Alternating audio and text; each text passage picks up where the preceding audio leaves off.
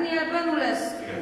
Született 1960-ban, mérnöknek tanulsz, de író szeretnél lenni, igaz, Daniel? Most arról írsz, amiről csak akarsz. Megfogalmazhatod az örömödet, a bánatodat, azt a hatalmas terhedet, amit mint egészséges román ember cipelsz. Napi nap írhatsz akár róla is, vagy amire úgy gondolod, hogy a népedet szolgálhatja.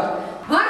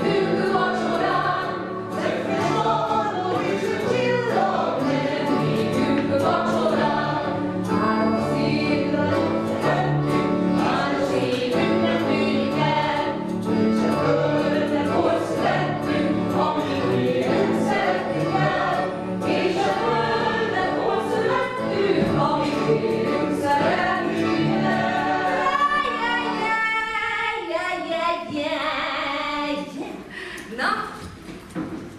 Mit szóltok, sikerülni fog neki? Mhm.